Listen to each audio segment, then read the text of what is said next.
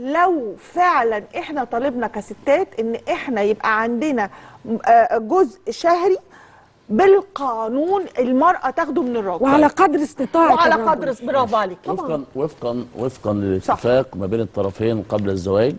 ما ما فيش أي مانع من إنها تطالب بهذا. ده أنا ما عنديش مشكلة فيه ده رأيي.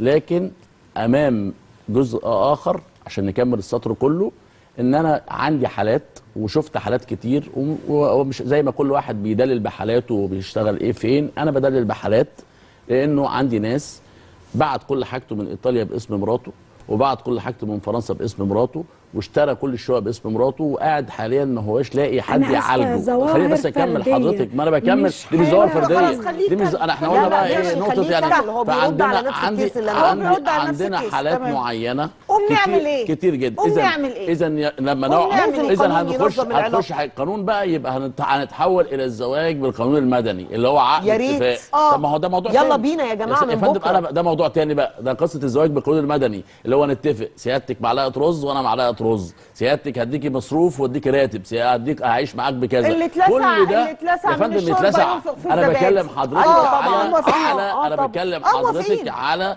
وجهة نظر للطرفين مش, مش مش زواج مدني أنا موافقة إن أنا أحط. فيه. عقد الزواج بتاعي العادي اللي آه. هو الشرعي بتاعي ما بيتحطش إن فيه. أنا هنحط ورقة آه، هنقول والله للأسف. لو سمحت آه. إحنا بنقول بنقول للمشرع آه. أرجوك إحنا كستات في مصر آه. طالبين آه. إن ليه إن إحنا وإحنا وإحنا وإحنا ملحق آه. لو سمحت أنا عايزة آه، آه، آه، مرتب مرتب آه. شهري لو سمحت أنا ما اتضربش لو سمحت أنا أرفض إنك تتجوز عليا لو سمحت ليا آه، حقوقي واحترامي أحط كام حاجة. كده إيه على فكرة المشكلة ده موجود في على فندم بس حلو محدش جدا. بيستخدم لا، لا لا. وعلى فكرة في قسيمه الجواز بتاعت قاسم. امين آه. فيها حاجات آه، شبه كده خلينا. بس أسأل أسأل. الاستاذ أحمد بعد إذنك يا. دكتور يسرا على دي موجودة أنا يعني. دلوقتي اتجوزت وقعدت في البيت ما اشتغلتش سواء بناء على رغبة الزوج أو إن أنا عايزة كل أولوياتي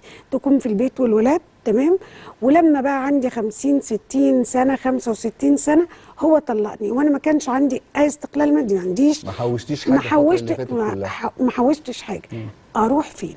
يعني أنت دلوقتي لما أنت تكون أنت ضد ده أنا بقى كواحدة ست اشتغلت في البيت وشقيت وتعبت واخترت البيت ووصلت لسن واتطردت بره البيت. أعمل إيه؟ بص هي بس هي نقطه أنا مش ضد الشروط خالص يعني عشان النقطة اللي أنت بتتكلمي فيها أنا معاكي إن أنا أحط في البداية واحد اتنين تلاتة أنا مش ضد ده حلو ده. بس هي الفكرة لو أنا حطيت بقى مرتب وقلت لها خلاص هديك 2000 جنيه وجات هي احتاجت عملية ب 100000 جنيه أجي أقول لها خلي بالك أنت حوشت مني آه 3 مليون جنيه مش هديهم لك يعني لا هي من بالطريقة دي. نفسها هي هتقول لك. على معايا فكرة كذا. أنا على فكرة أنا ابقى سعيد جدا لو مراتي جت قالت لي آخر الستات الشهر زمان كانوا بيبيعوا ويدوها عارفة؟ سعيد والله العظيم يا أحمد، مفيده مصطلحات. هاخد كل ما- الإنكم بتاعه لا خدي أهو طب وريني هتتصرفي أنا عايزة. أقول لك على حاجة سؤالين اولا اولا. اولا اولا في المصطلحين اللي أنت موضوع قلتهم سهل رد أوي. عليا فيهم؟ لما ت... آه قلت حاجة آه لا، هقول موضوع لك إيه هقول إنها لك يعني. اولا لا، أنت وأنت بتديها مرتب أعجوبة 2000 يعني. جنيه ده حقها مكتسب كون هي احتاجت عملية. مكتسب منين؟ كون هي احتاجت عملية. هي ما يمكن محول- يكون مرتبه أقل من بس، 2000 اسمعني، جنيه. مكتسب. منين؟ كون احتاجت. افتراض أنا بقى مشوني من الشغل استني يا مفيد. كون إن هي النهاردة احتاجت عملية ده مش معناه إن هي انت عارفة بعد الثورة كان قطاعات السياحه انضربت. وكان في ملايين قاعدين في ال- في, في على. قدر تقولي لي أبقى ملتزم استطاعته لا ما. يبقاش على ملتزم. زي ما أنت قدر قعدت في البيت. استطاعته. هي المرأة ولو هي شايفة لما ظروفك مش هتطلب منك. ده مش معناه إن هي تديك فلوسك انت مجبر على انك انت تعمل لها العملية حلو ولما انت تعيا مش برضه. وهي ما حوشتش أي قرش من المرتب أنت اللي تعمل انت العملية بتطلبها بصي. أنا عشان. انقل النقطة دي يعني فكرة إنها آه، من البداية أبقى أنا عارف إن مفيش انكم بالنسبة لها ومفيش ورث واخداه ومفيش شغل بالنسبة لها وهي محتاجة إنها تصفى على نفسها وتبقى وتخرج وتبقى زي بتبقى زيها زي صحباتها وتصرف وتعيش ده حقها وأفول لها. العربية وأغير العربية كمان إنما فكرة بقى إن أنا أجي أقول إن أنا لما أطلق مراتي أو بافتراض هي مثلا جت قالت أنا عايزه أتطلق.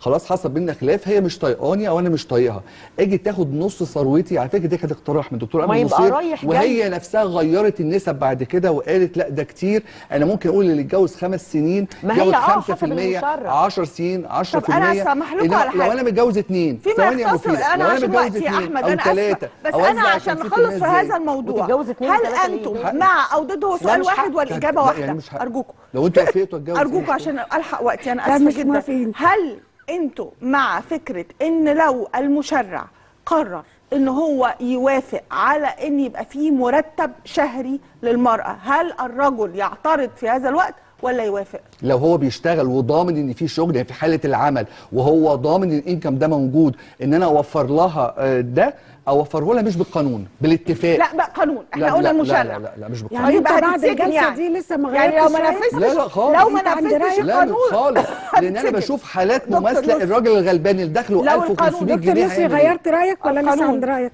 قبل الجواز قبل الزواج يضعوا مع بعض الاتفاق اللي يكملوا حياتهم عليه عندما يضع بس. المشرع القانون في إن يلزم الزوج على إن هو يدي الزوجة مرتب توافق ولا تعترض على القانون اللي معناه إنك هتخش السجن إذا وضع لا لا مش سجن. مش اعتراض يعني ضرائب تأمينات مرتب أيوة.